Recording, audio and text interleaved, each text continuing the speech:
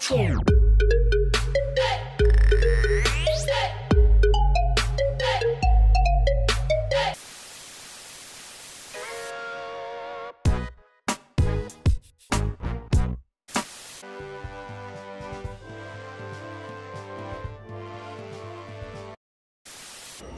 Guess what we just did?